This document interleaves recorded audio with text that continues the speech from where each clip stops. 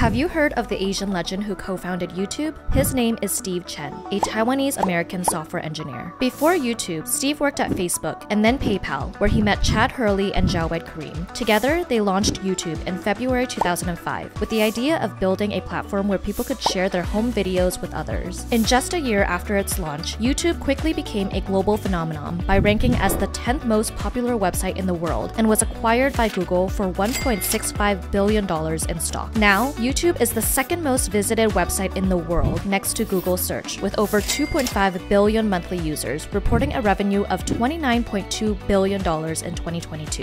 As YouTube's co founder and CTO at the time, Steve was recognized as one of the top 50 people who matter now by Business 2.0 in 2006. After YouTube, Steve co founded Avos Systems Inc. and was involved in projects like the video sharing app Mixbit. In 2014, he joined Google Ventures, contributing his expertise to the tech investment landscape.